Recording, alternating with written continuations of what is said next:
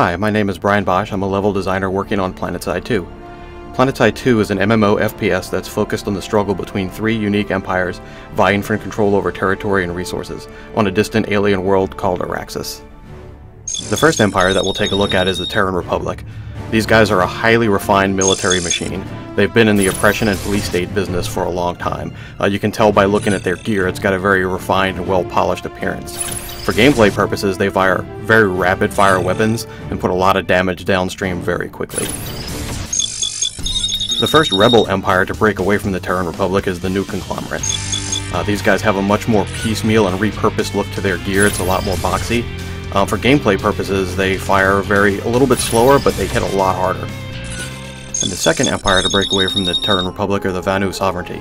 These guys actually found alien technology on the world of Auraxis and have incorporated that into their arsenals. As such, they'll fire energy weapons and use a higher level of technology on their vehicles uh, that the other two more conventional empires just don't have access to massive infantry combat. In PlanetSide, you are going to be faced in a bunch of different tactical situations, and to help you deal with that, we put together a bunch of different character classes for you to choose from. The first one we'll take a look at is the Infiltrator.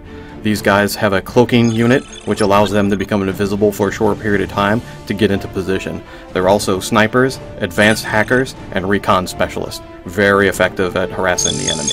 Light Assault is the first shock trooper class we'll take a look at. These guys are very mobile, even though they have medium armor and medium damage weapons. They make up for it by having a short duration jump pack, which allows them to get in really good tactical positions and flank the enemy. Heavy Assault is the main shock trooper of all three empires. These guys have a lot of armor and a lot of firepower. Their class-specific ability is a shield that can absorb a lot of damage for a short period of time. They also can engage in enemy vehicles and enemy infantry. The Engineer is the first support class that we'll take a look at. Uh, these guys can put down defensive deployables to really shore up a position for defense. They also supply ammunition and can repair vehicles and max units. The combat medic is the cornerstone of any good squad. These guys can single target heal very quickly, do a slower heal but it's an AoE pulse so it heals the entire squad, and they can also revive fallen teammates. But as a combat medic they have a very effective weapon so they're very much in the fight. The last class we'll take a look at is the max unit. It's an iconic from the first game.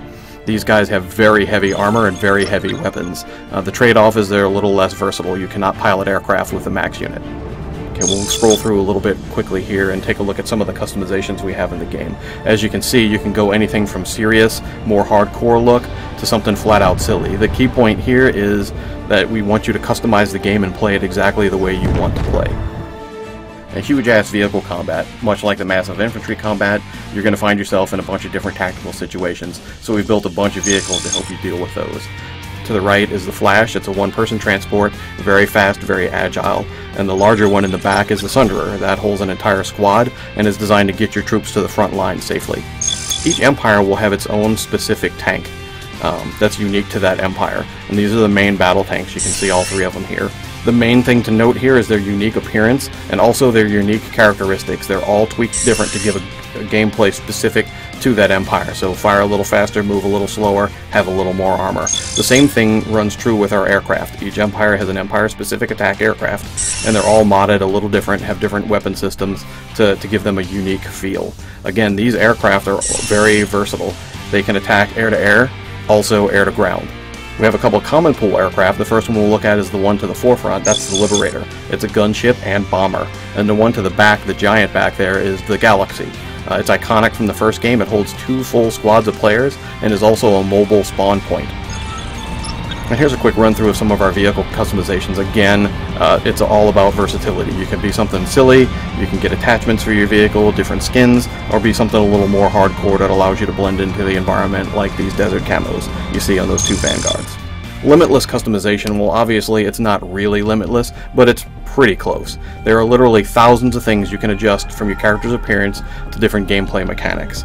Um, you can mod just about anything on your character. And the way we do that is as you play the game, you level up. And as you level up, you get certifications. And these certifications can be used to purchase all your different customizations. So if you want your gun to fire a little faster, you can mod that. If you want it to shoot a little further, you can mod that. Uh, if you want uh, different camo patterns, you can also grab that. We also have very deep um, progression and customization paths for your vehicles. So in this case, this guy's modifying his Lightning to make it turn a little better and have a higher end top speed. Unprecedented team play. Well, as you can imagine, the massive storm of chaos that's thousands of players fighting on the same continent. We wanted to give you some solid team tools to stay together as a cohesive unit. So we've built a 10 man squad uh, which the squad leader can actually give assignments to his team to keep them on target. You can coordinate uniforms to be the elite Zebra squad here if that's what you want to do. Um, three squads can form up to a platoon, so you can have up to 30 players on the same mission attacking the same target, all organized together. We also have a more permanent grouping. Uh, we call that outfits. In other MMOs, it's called guilds. Uh, but it's a permanent group of friends that uh, team up and take down the enemy together.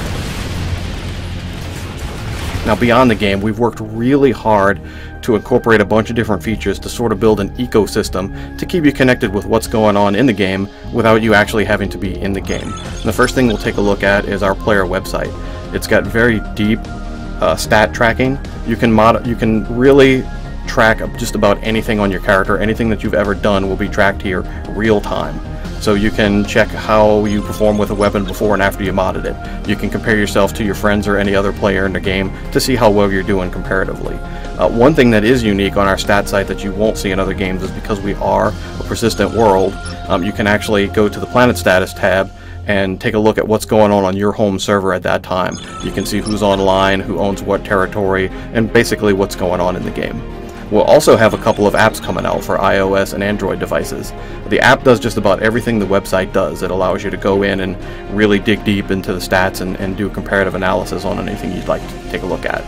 Um, but one thing it has that's unique that I really like is it has a voice modification in there so you can actually dial into the VoIP that's built into the game and talk to your friends live through your phone. And I think that's really neat. Thanks for watching. Make sure to like us on Facebook, follow us on Twitter, and I'll see you on Auraxis.